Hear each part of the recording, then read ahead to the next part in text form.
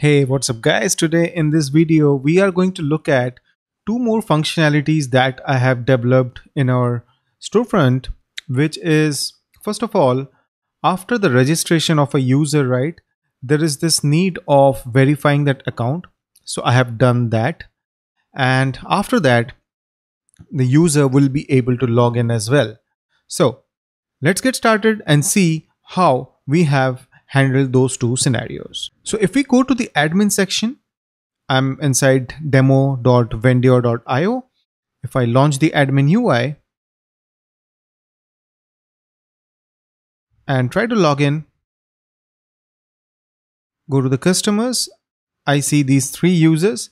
This can change when you are looking at things because what happens is this particular application or the database resets every day at one point. So whatever you're doing tomorrow, it will come back to its original state.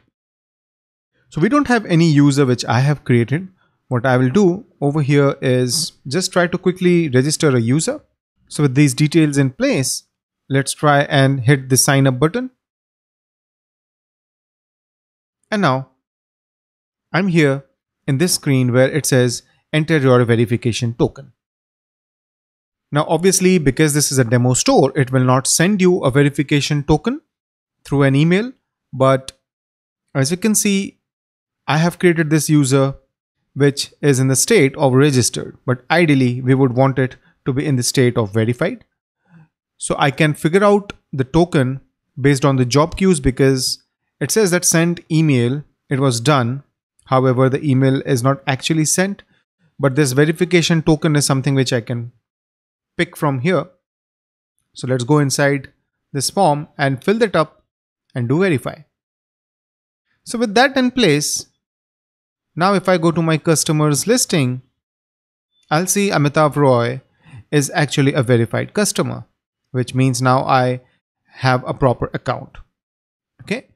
Now let me get out of this, log out, because what happens is both of them can share the same auth token. So let's just get rid of this and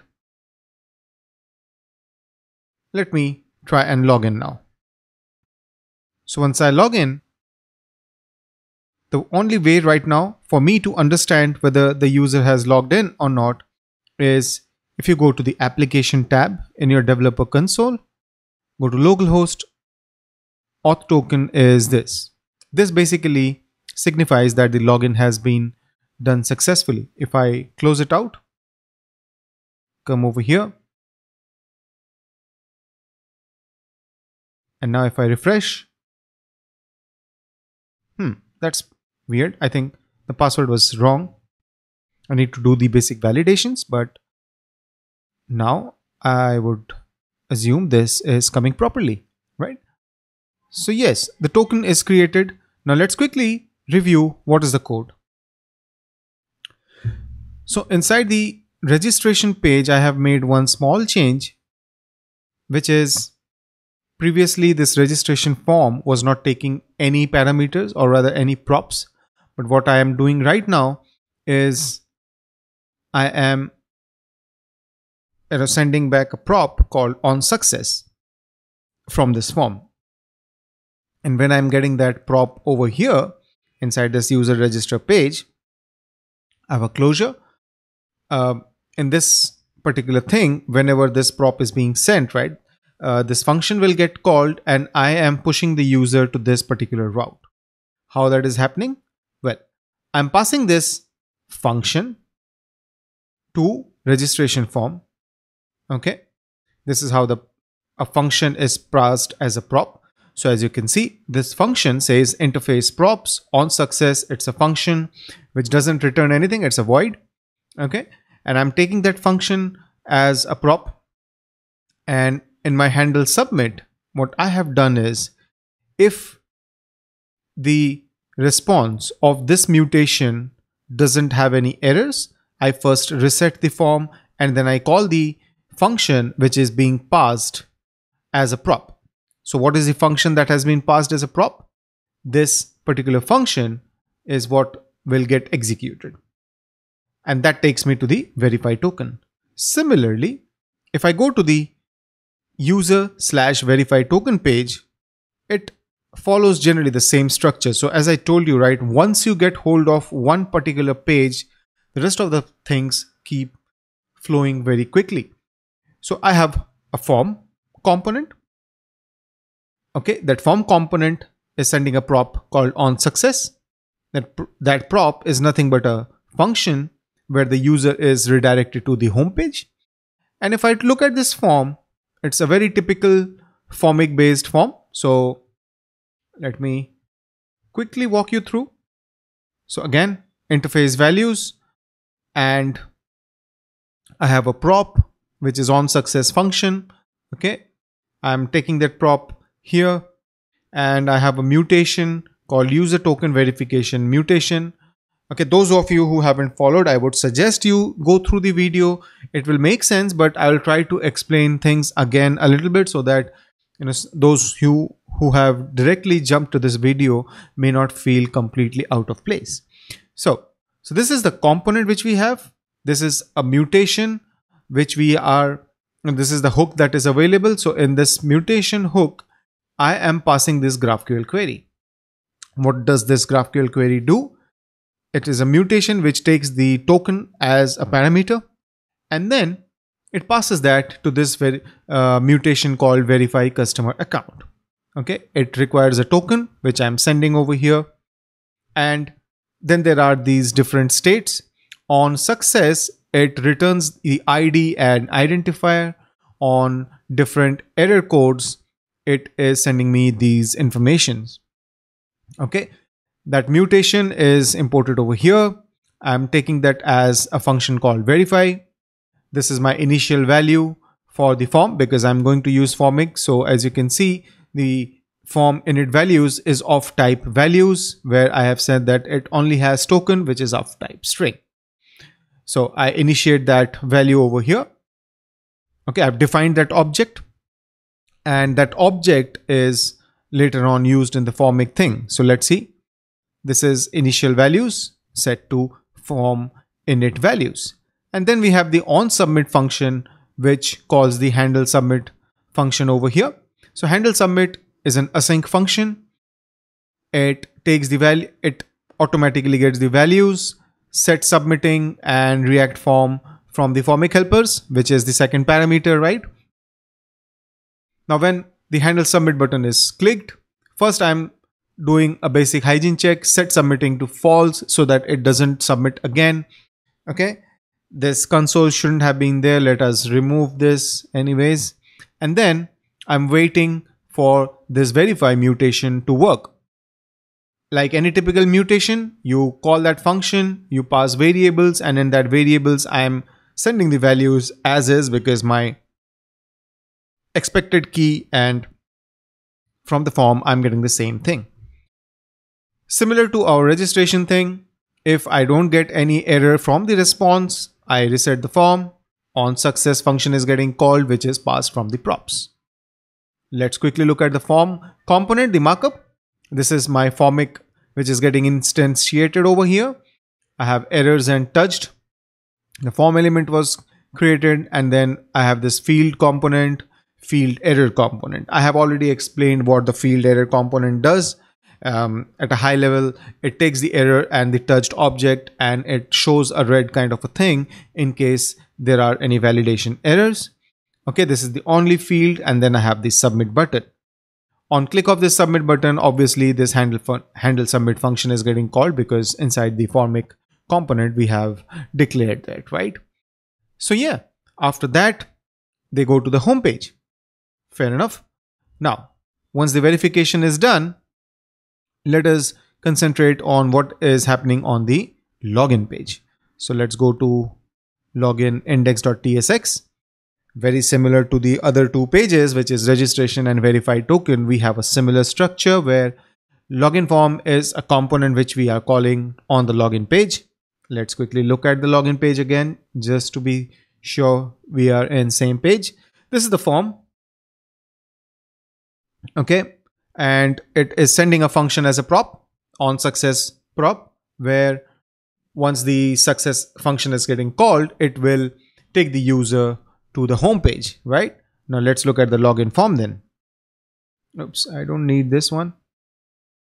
Like any other form, this is again very repeatable code. I have an interface called values where I expect that username and password will be there, both are string. I have defined that I expect props, a function called on success, which is of type void, and then my function or rather the component starts. This is the mutation that we are going to execute. Let's look at the query. What does it say?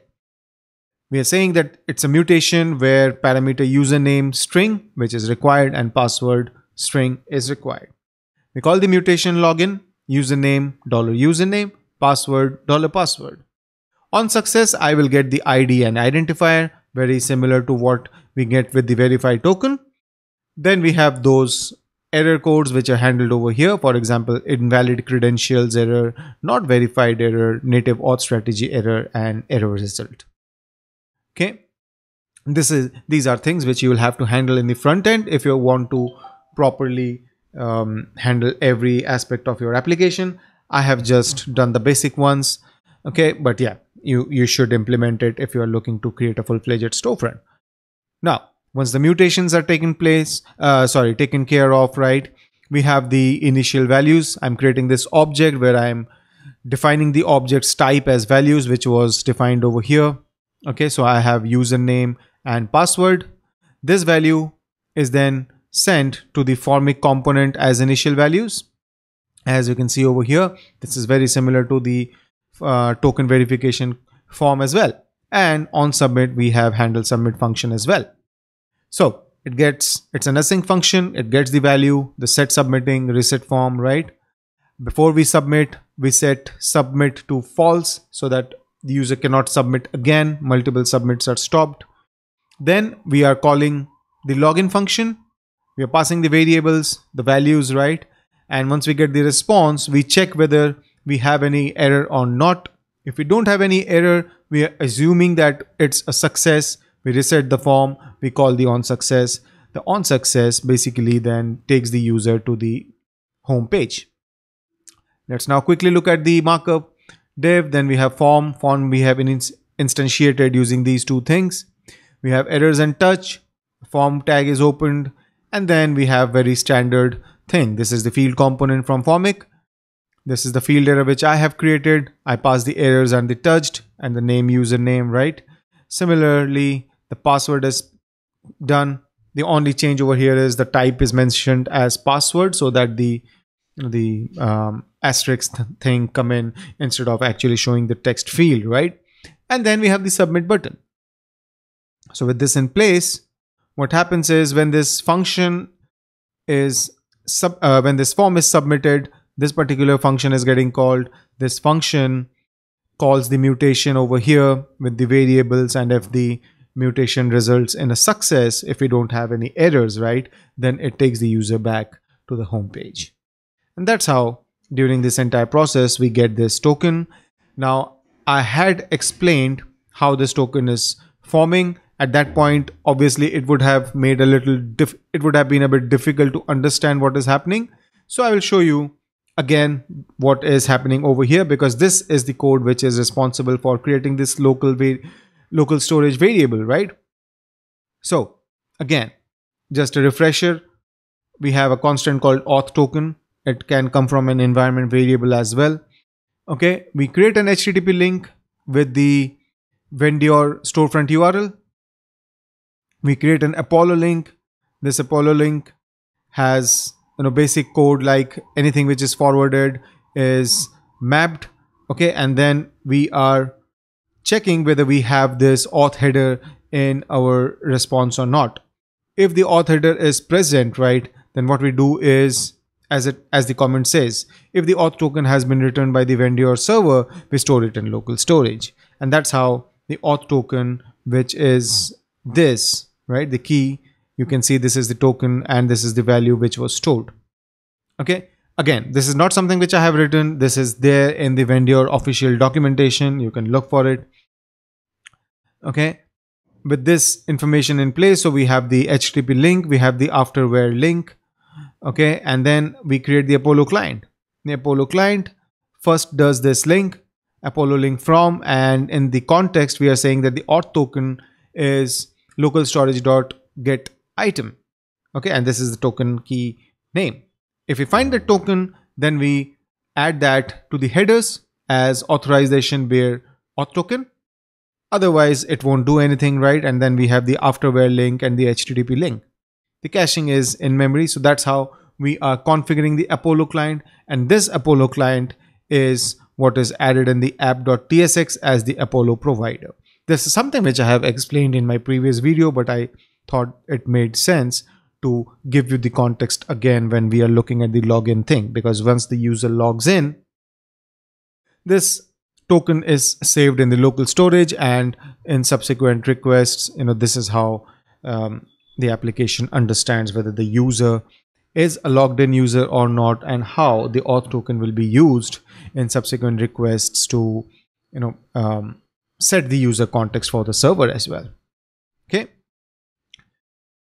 so yeah that's about it guys that's what i wanted to cover in this video we saw how we are now able to verify a user how we are able to log in as a user, you know, an authenticated and verified user, right? And we went through the code.